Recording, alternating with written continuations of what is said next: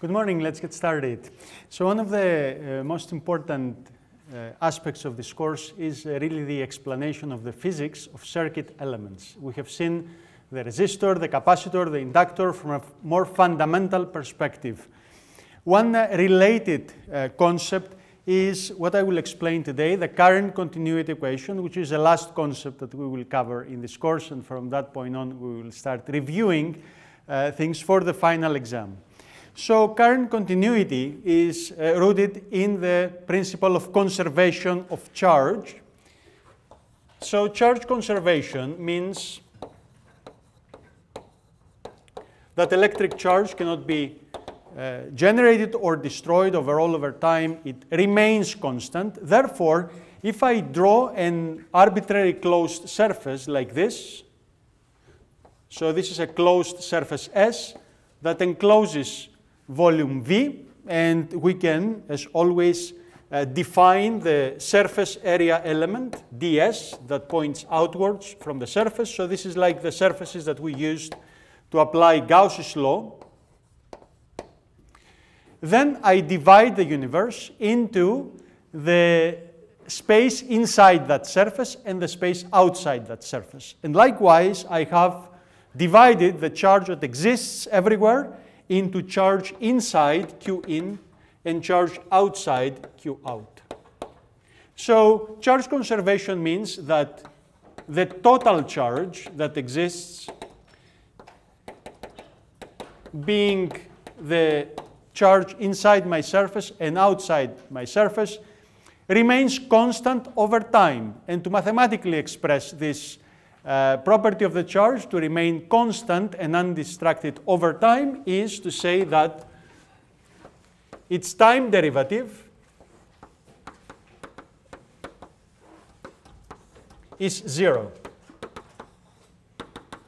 So this is the mathematical expression of charge conservation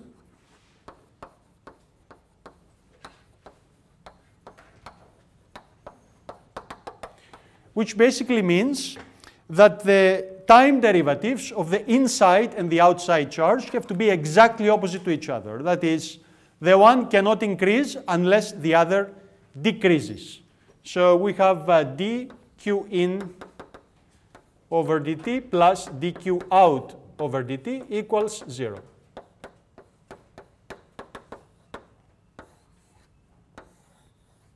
Correct? So the two rates of charge uh, change have to be exactly opposite to each other. If a charge is to be conserved everywhere, then you cannot have increase in one area unless you have an equal uh, decrease in the other area. If uh, one nanocoulomb escapes the interior of the surface, then the interior has one nanocoulomb less and the exterior has one nanocoulomb more. That is a simple concept. Now let's say that inside this surface,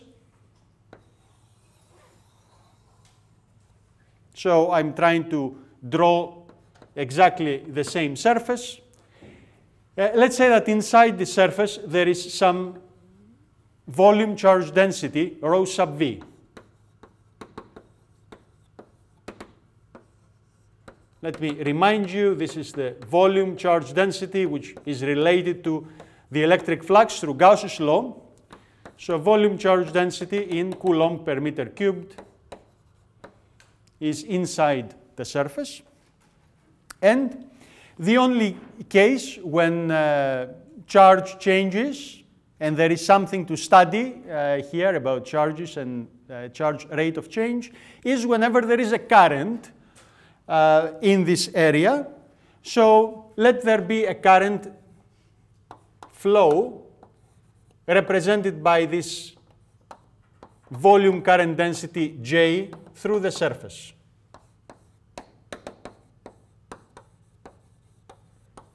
So volume current density in amps per meter squared.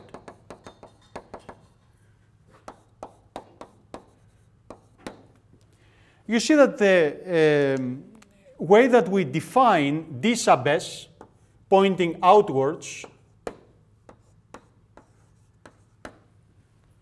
if we uh, take the flux of the current through the surface,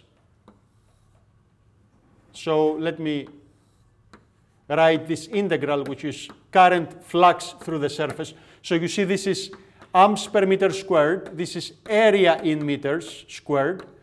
And therefore, when you take this flux, you are calculating a current. What current is this? Because this sub points outwards, this current is positive when it goes from the inside to the outside. And therefore, that current tends to build charge in the outside area. So we take this current as positive if it actually flows outwards. Therefore, this current J dot ds is in fact dq out by dt. It is the positive rate of change over time of the outside charge um, dq out over dt. Do you see that? So current is dq over dt. So here we're calculating current. What current do we calculate? We calculate the current that goes out of the surface. So that is the current that builds the outside charge over time. So therefore, this equation has to hold. The current that you calculate through the surface has to be equal to dq out over dt. But uh, we can also say something about q in, because q in Q inside the surface can be expressed in terms of the volume charge density inside the surface as the integral over the volume of this volume charge density.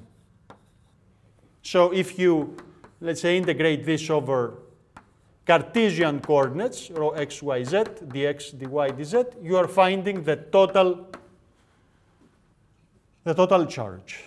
And therefore, this dq in over dt is nothing else but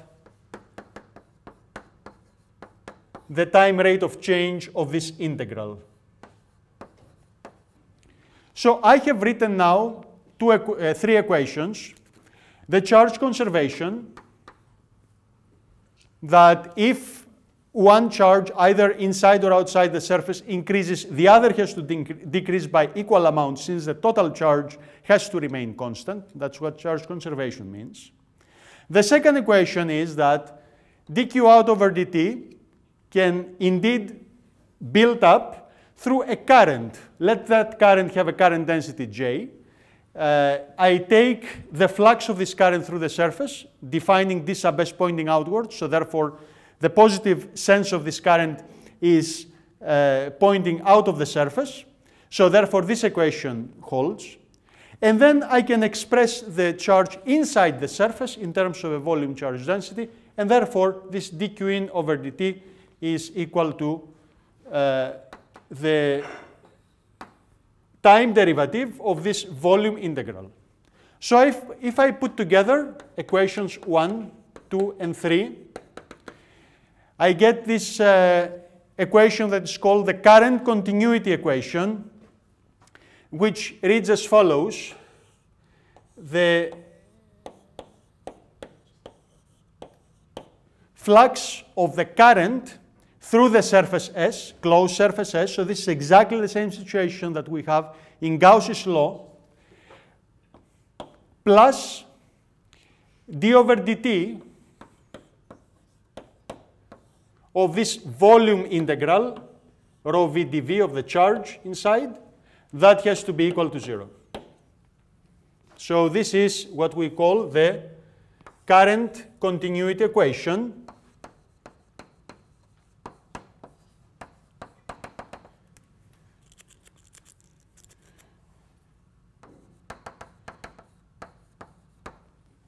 The current continuity equation that relates the flux of the current through an arbitrary closed surface with the time rate of change of the enclosed charge. Now if you compare this to Gauss's law, that was the first law that we saw back in electrostatics, Gauss's law says that the electric flux density, the electric flux through a closed surface S, in fact this is a closed surface, let me just make sure that I put this in now that we have seen also so many open surface integrals, d dot ds is equal to enclosed charge. If you remember, that is Gauss's law. d dot ds is equal to enclosed charge, which is equal to this volume integral of volume charge density. And we showed that this can be actually transformed into a differential equation, divergence of D equals to rho sub V. And this was Gauss's law. We saw this in electrostatics in differential form. That is in the form of a differential equation. Uh, we use that, if you remember, to extract the Poisson and the Laplace equation for the potential back in electrostatics. Now, if you compare these two laws, you see that current continuity, in current continuity, the role of D is being played by J. So look at these quantities. And then the role of rho sub v, now it is on the right-hand side. I can put this on the right-hand side as well with a minus sign so that we can compare these laws more clearly. So you see now what is the role that is being played by the volume charge density in Gauss's law is being now played by the time rate of change of the charge density. And therefore, I can also conclude that the divergence of J is minus time rate of change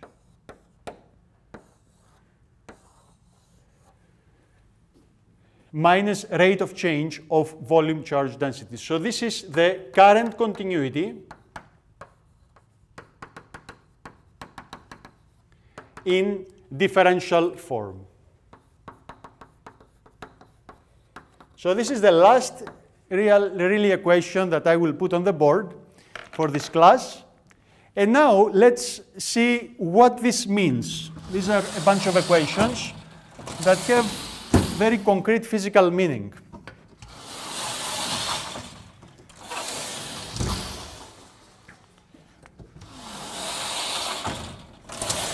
So first of all, any questions up to this point? So it's been quite abstract so far. So let me just make some notes here and examples.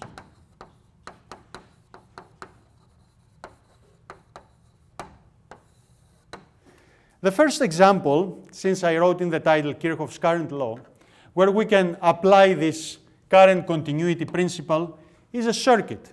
So consider a circuit node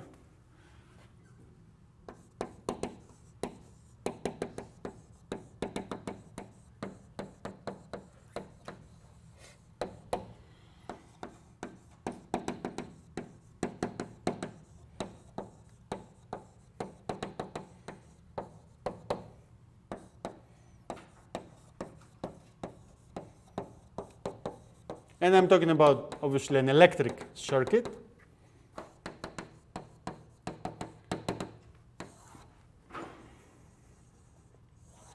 So let's say that we have a node, and uh, let me make it a simple node with three uh, currents, I1, I2, and I3. You see the uh, equation here, the current continuity equations, conti equation, applies to any surface I choose. So I choose a closed surface like this that includes the node. Okay? So I'm choosing this closed surface S to apply current continuity.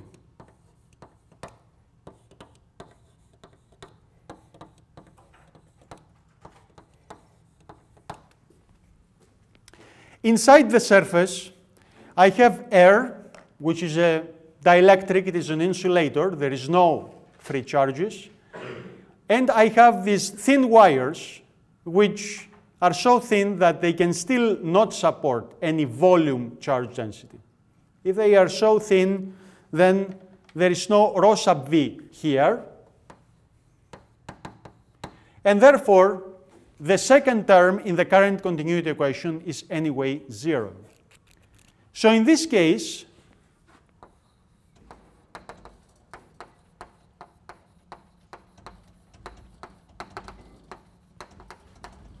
no charges in air, obviously, no volume charge density, only line charges that are moving around, but no volume charge density rho sub v in the thin wires.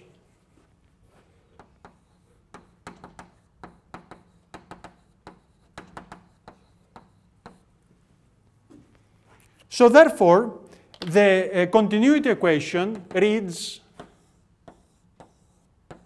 j dot ds is equal to 0.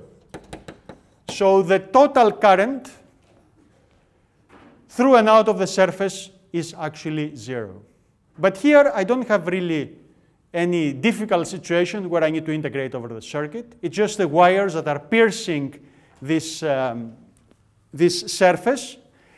Again, the way that we define always the flux is outward flux is positive. So here all this current, so here this current goes into the surface. So you see my ds, my ds defines the positive sense of current. I1, you see, comes into the surface. So therefore, my ds points this way, I1 points opposite, and therefore I1 will go into this equation as minus I1. On the other hand, I2 comes out of the surface, Therefore, it comes into the equation with a positive sign. And I3 also comes out of the surface. Therefore, it goes into the equation with a positive sign. And now this is equal to 0, which, as you see, is Kirchhoff current law. And this Kirchhoff current law is really the equation of continuity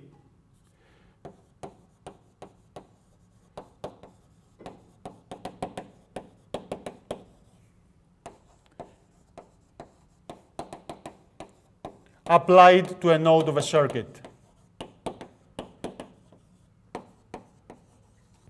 So you see again um, one more circuit law that you are familiar with that can be traced to fundamental principles in uh, electricity and magnetism, in this particular case in electricity.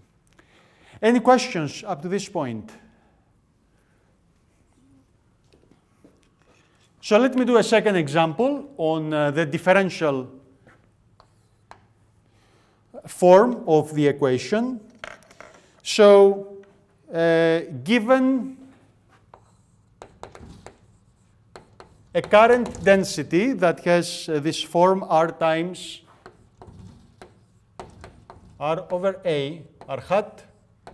So R is uh, the radial coordinate in the spherical coordinate system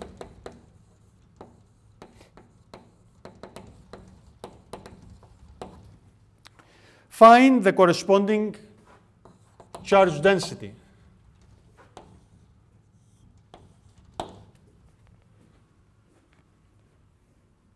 Find the corresponding charge density.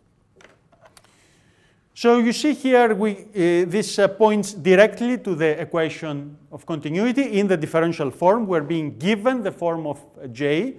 So we have uh, basically a current flow that is spherical and uh, exponentially decays. So we have R that increases, but this exponentially decaying term means that this current flow will become weaker and weaker as you go outwards.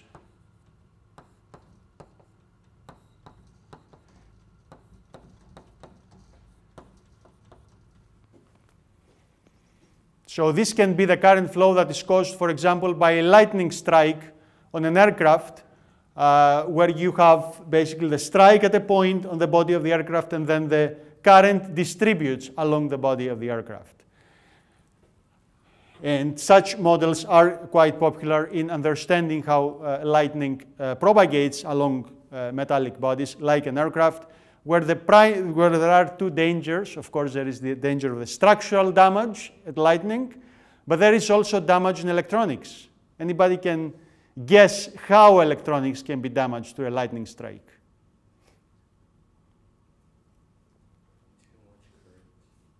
The current does what? How does it burn it? That's the question. So it burns it because it introduces a magnetic field, which is very high.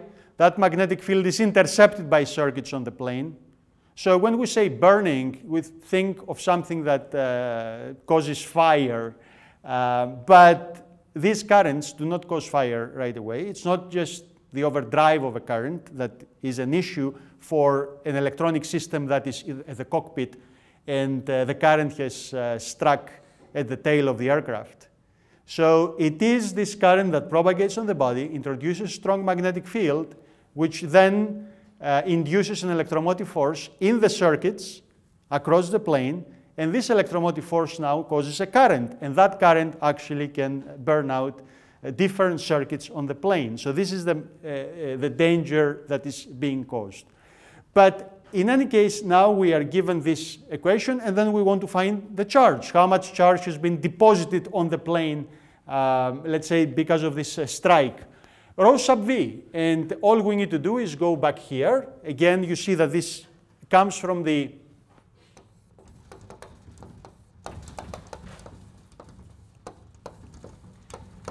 uh, charge conservation. And by the way, you also see here that if there is no time rate of change of volume charge, the divergence of the current is zero. What does it mean that divergence of the current is zero? That the current lines are closed. The current lines are closed. Remember, in magnetism, the divergence of the magnetic field is zero. The magnetic field lines are closed. What does this physically mean? That we cannot, have not isolated any magnetic monopole, and therefore you don't have any source or sink of magnetic field lines. Likewise, if you are in a steady state circuit like this and theta rho sub v by theta t is zero, there is no time rate of change of volume charge density anywhere in the circuit, then the electric current lines have to be closed. And this j dot ds equal to zero means that the current lines are closed.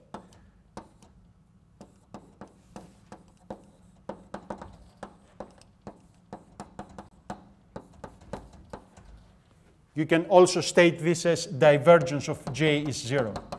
Non-zero divergence means that you have, if, if it is positive, positive divergence means that the vector whose divergence you are calculating diverges. That is, it springs out of the point where you calculate the positive divergence.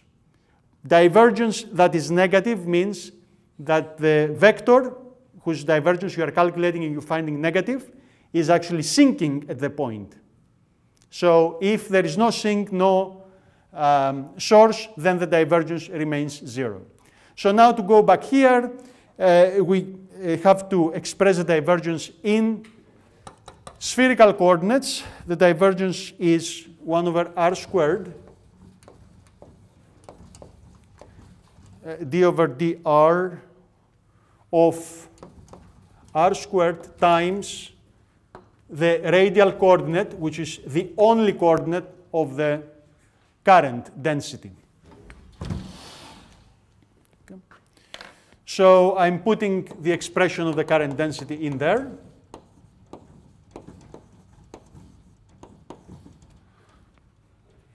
r squared times r e to the minus r over a.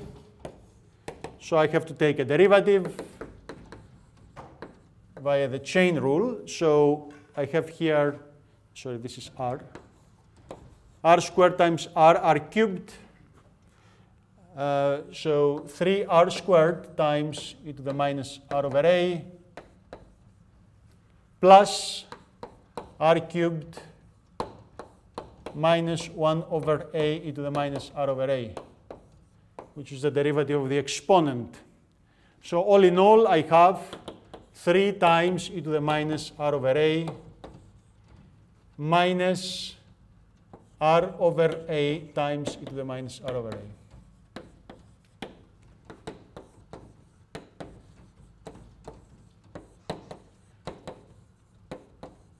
So this is the minus rate of change of the volume charge density. So you see this expression does not depend on time. So when you find the uh, rho sub v as a function of time, it has to be a linear function of time. So, and then rho v is equal to 3 minus r over a t. So it builds over time with the current plus its value at t equals 0. So if there was no volume charge density to begin with, as it would be the case, let's say for a lightning strike, you don't have the charge before, the uh, strike comes in and then uh, builds the charge, then this second term would be 0. So this exactly correlates the current with the associated volume charge density that you have uh, in uh, the volume where the current exists. Okay, so this is this example.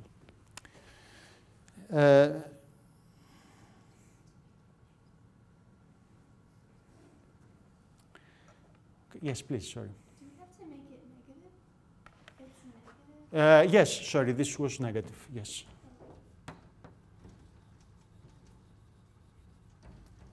This is negative. Let me just put this back here so that you can see it. Negative, thank you. Okay, so this is uh, the example for the current continuity. Any questions? Other questions? Okay, so now I move on to an example on the displacement current.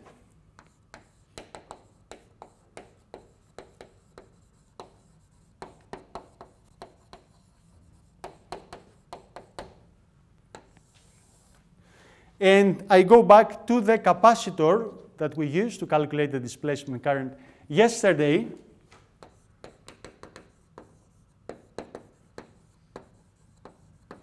And the question here is find the magnetic field. It is a very strange question at first.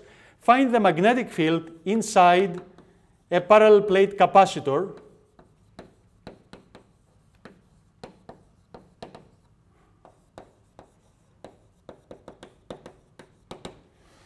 And uh, the geometry of the parallel plate capacitor is similar to what we have seen before. So we have the W being the width, L being the length, and uh, that is the upper plate, the lower plate.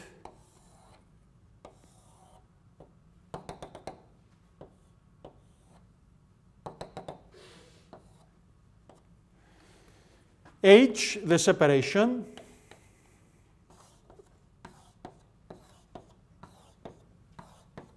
And the electric field points in the minus Z direction. Voltage here in the capacitor, I take it as time varying. And this is why I, I expect that I will have also a magnetic field minus Vc over H. The capacitor is made out of a perfect dielectric with permittivity epsilon, epsilon naught, epsilon r, no conductivity. And uh, that means that my electric flux will be minus z hat epsilon naught epsilon r Vc over h. So now why do I expect to have a magnetic field? This is a bit strange in the sense that we introduced capacitors in electrostatics, and therefore we expected to have only an electric field in there. However, this concept of the displacement current comes in here with this Ampere-Maxwell law. And the Ampere-Maxwell law, what it really shows is that, and let me write uh, down the law so that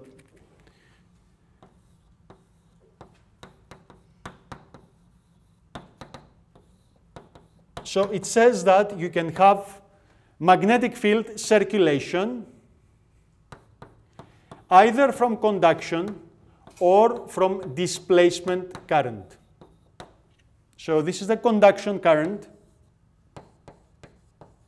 due to a J, like the J that we have seen now. And this is the displacement current.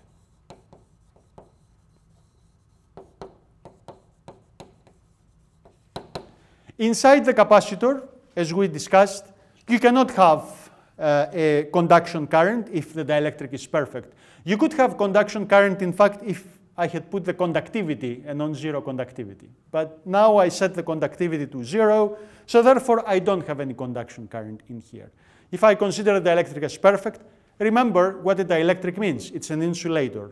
We talked about in electrostatics those two uh, extreme types of materials. The good conductor, where all charges are free to move, and the good dielectric, or a perfect dielectric, where all charges are bound to their nuclei.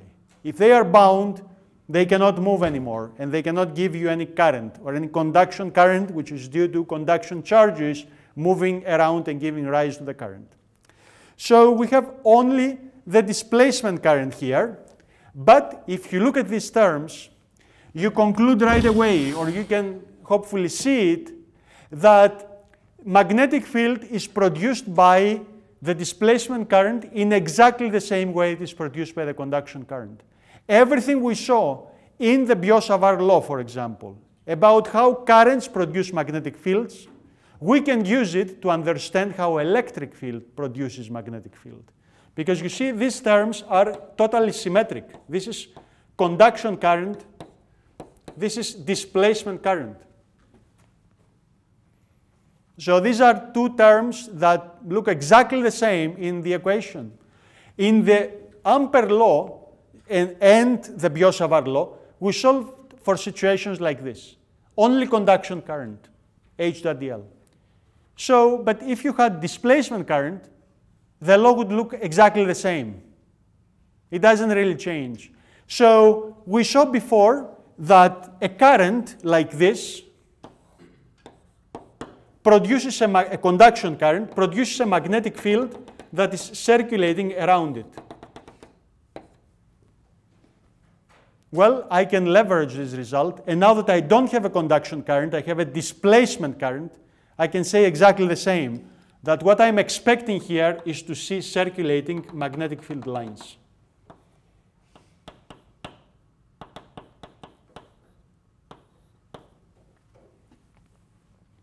And this is really the meat of Maxwell's equations that electric field and magnetic field will be, yes, I know you, you, many uh, people are looking at the right-hand rule. These are, uh, this is a reference, uh, a reference um, uh, direction. It can be this way or that way. Remember, the electric field also won't point always like this because now I'm talking about an alternating voltage. So I'm just putting in reference directions and I will apply the law and then we will see, we, we will get the point where we apply the right-hand rule.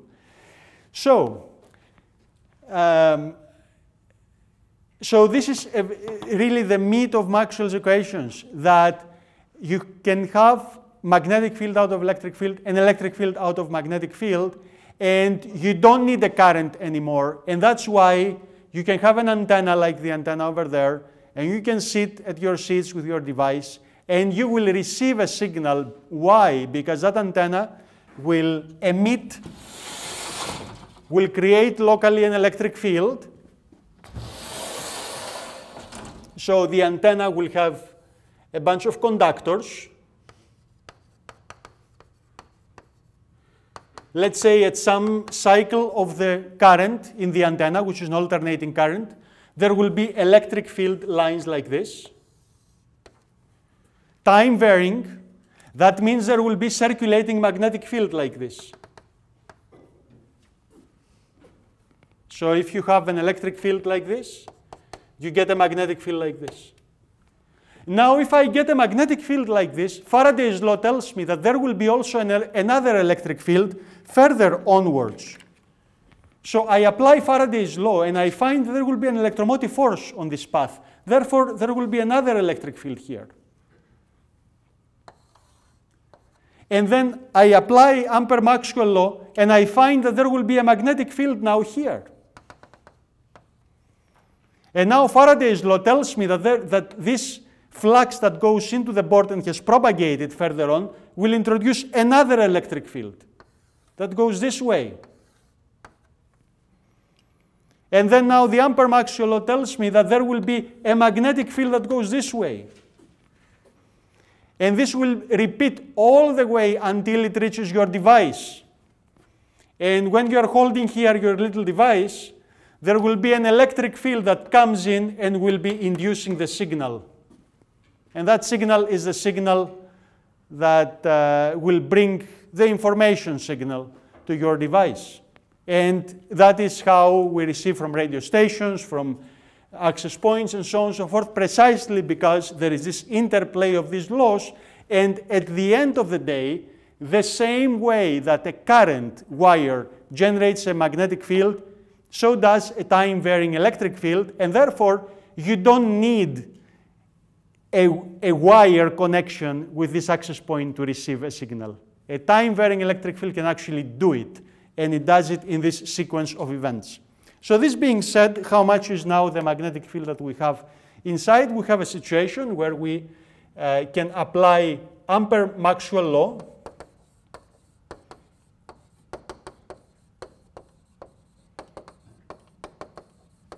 inside the capacitor.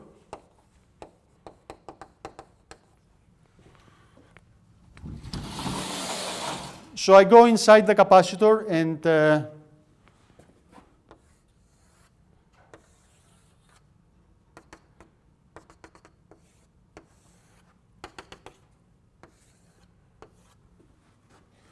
and I apply the law, the application itself will be very simple, very similar to what we have seen in Ampere's law. So I draw a circle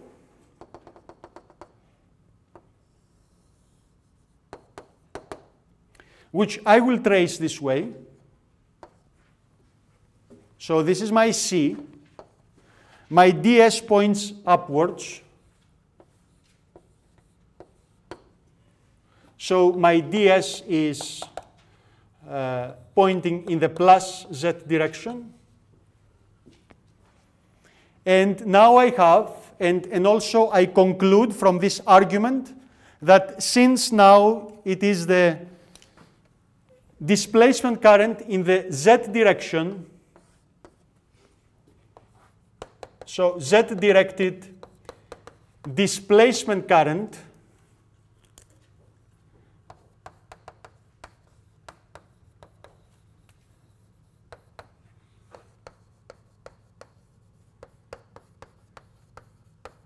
creates a magnetic field that is in the phi direction. We saw this in Ampere's law.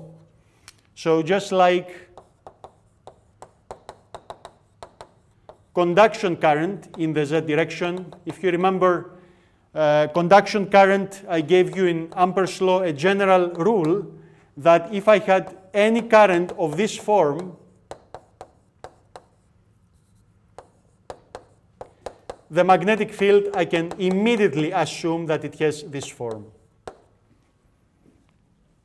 So now with this correspondence between the Ampere law and the Ampere-Maxwell law, the current, conduction current, displacement current, I can directly guess that my magnetic field will be circulating around this displacement current. And therefore, the left-hand side of the equation, H dot dl, will be H phi times 2 pi r. Just like in the examples that we did for the Ampere-Maxwell law, for, sorry, for the Ampere law, uh, in uh, current distributions on a, a, thin wire or on a thick wire on a coaxial cable. We have a bunch of such examples. The right-hand side now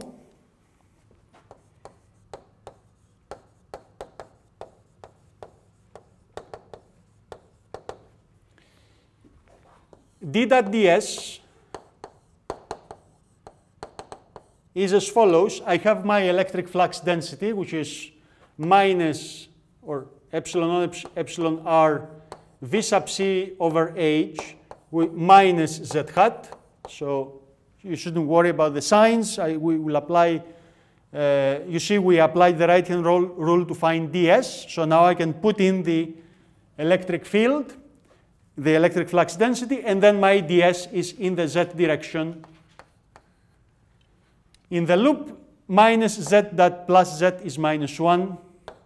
The rest are constants, so therefore I find epsilon naught epsilon r Vc over h times the area of this circle, the area of this disk, which is pi r squared, considering this disk uh, to have radius r. So I used that radius here as well. So, and in fact, this law, just to add it in, this line integral is along this same circle of radius r, moving along the phi direction. So this is z.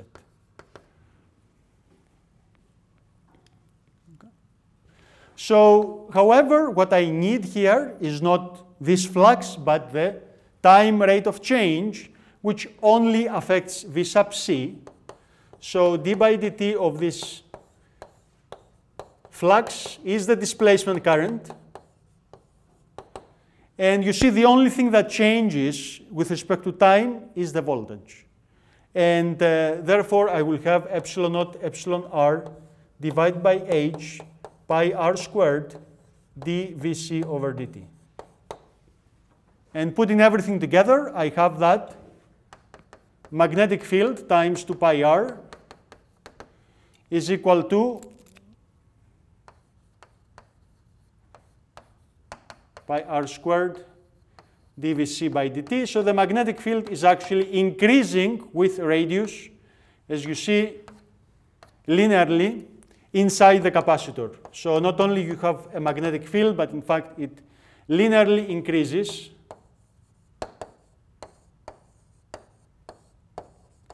inside the capacitor. Okay? So this is a little connection between the electric and the magnetic fields, even in the most electric element that you can think of, which is the capacitor, if you have time-varying magnetic field. Why do we not care about this magnetic field in capacitors? It has never bothered you in your electronics, electric circuit labs.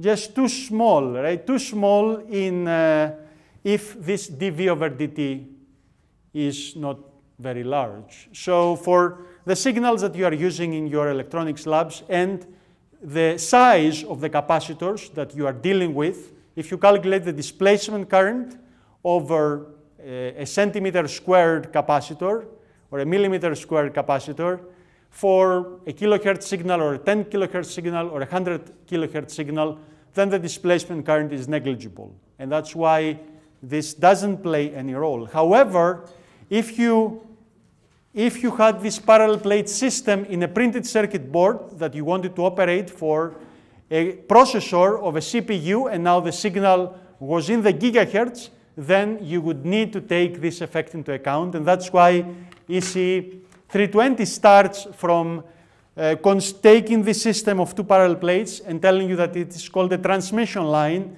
that supports electromagnetic waves because once you take those parallel plate systems and you drive them at gigahertz and uh, 1, 2, 3, Wi-Fi is at 2.4, so these components are all over the place, uh, computers now, the CPUs, uh, 3 gigahertz and up, then you actually have these effect, effects present and critical for the operation of these components. So I can fit in uh, an example on Faraday's law in the last uh, minute.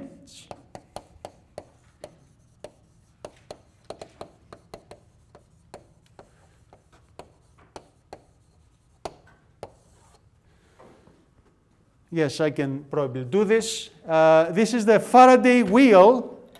Uh, it is uh, a structure like this that I will try to solve a disk that has been attached to an axis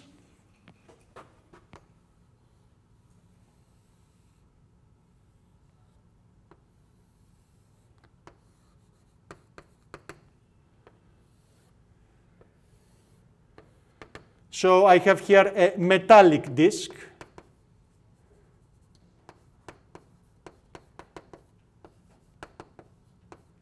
Radius A that has been attached to an axis and it is rotating with uh, angular frequency omega. And I connect it to a circuit through brush contacts. So brush contact means that it allows the wheel to spin. So this simply makes the contact between uh, the wire here and the spinning wheel.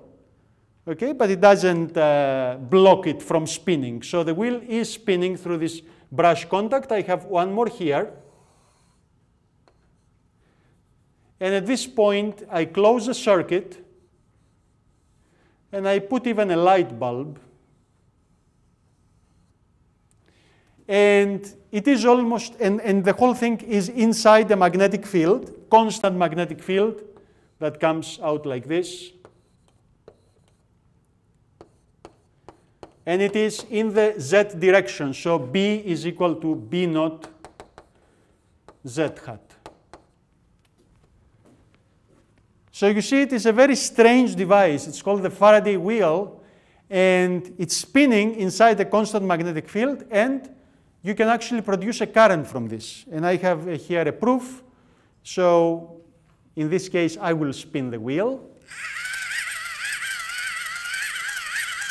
And I'm producing a current. Okay? So it is almost a mystery where this current comes from. But this is a mystery that uh, Faraday's law can actually resolve, and that's why this is called also the Faraday wheel. And the easiest way to resolve this mystery is actually by applying Faraday's law along this path. Let me call it one, two, three, four, five, 6. So this is the path where I will apply Faraday's law, and let me trace this path uh, in this sense.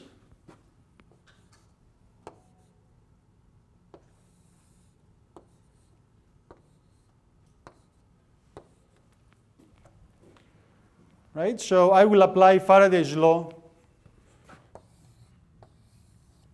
in this uh, path uh, 1 to 6 to 5, 4, 3, 2, and back 1, E dot dl is the EMF that I'm seeking, which will act as a virtual source. I repeat that if it were positive, it would drive current in the direction that I'm tracing the loop. So you see this uh, path intercepts magnetic flux only through this area. The rest of the circuit is parallel to the magnetic flux. The magnetic flux is passing along the z-axis, so the circuit intercepts only on the wheel flux right here in this sector. What is the flux that we intercept? I call this angle theta. Okay? And with this angle theta, I can express the flux as, you see here, as I trace the loop, the positive sense of flux is actually upward. So therefore, this magnetic field introduces positive flux. So you can see it right here. So the sense of uh, positive flux is upward. The uh, magnetic flux density is constant. It's equal to B naught. And then the area of this sector can be found as follows. The whole disk has area pi a squared, but here I have only angle theta instead of 2 pi. So when I have uh, the area, the angle here on this sector being theta, as opposed to 2 pi that is the whole disk, I, uh, enclose area that is the area of the disk times the ratio of the angles, theta over 2 pi. So pi's cancel out, and I have b naught a squared theta over 2. Okay? So then the EMF is minus time rate of change of uh, b naught a squared theta over 2.